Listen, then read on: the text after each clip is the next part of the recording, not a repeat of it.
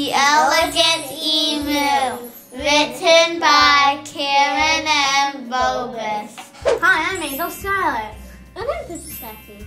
Hi, I'm Fairy Cora, and I'm in this book.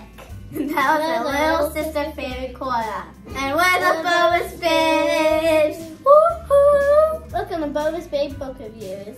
We are super duper extra trooper whooper happy to see you today. Make sure to stick around for the very end for our dance party. Today's book is called The Elegant Emu.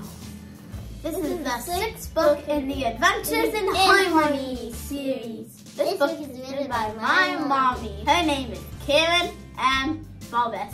Right there. This book is about three little sisters. They need some help with their manners. So dad, the king, sends them to El- Elizabeth the Elegant English Royal Elegant School. But the sisters can't help but being a little silly in class.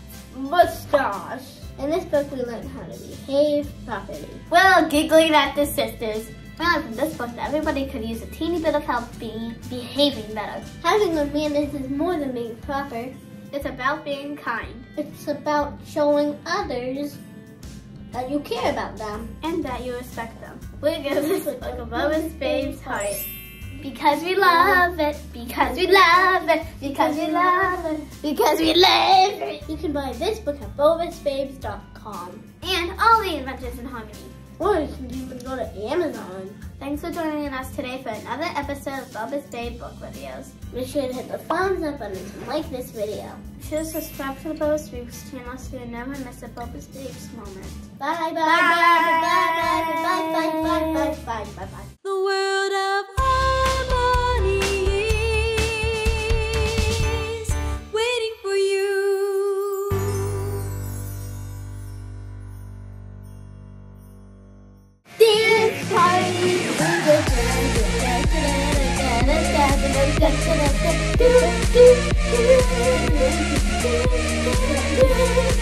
Yeah.